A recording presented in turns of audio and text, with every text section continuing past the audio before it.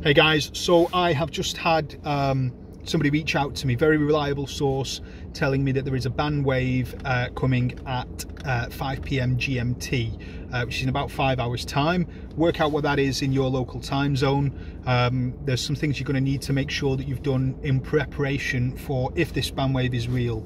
Um, I, would put a 90% bet on it that it that it probably is real. Um, basically, what's going to happen uh, is they're going to be looking out for um, accounts that have duped. They should be able to track that and quite possibly uh, duped items. So uh, certainly Secret Service would be trackable.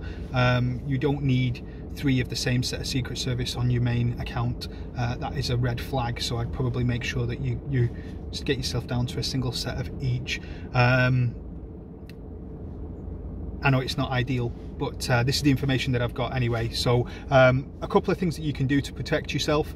Any duped gear, such as outfits and armor and so on, don't store them with all your other muled gear. Uh, put them on a new PSN, just a blank one where you're going to store all your duped gear, just in case they're able to track the armor. I'm not saying they can, but um, there is a possibility that they can, obviously. Uh, secondly, any accounts that you duped on, clear them out.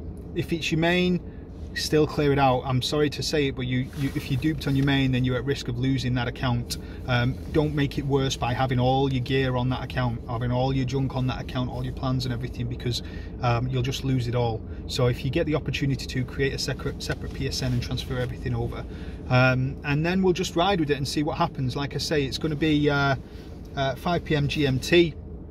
Uh, which is in about five hours time work out your local time zone hopefully hopefully it's uh, some kind of threat to cause some ripples in the community but I don't believe that it is. Uh, like I say it's come from a pretty reliable source uh, and I feel confident that what I'm being told is true. So um, just be careful out there guys. Make sure you're well protected. The last thing that we want to hear is damn it I duped on my main and everything that I duped is gone. Um, that'd be that'd be a crying shame.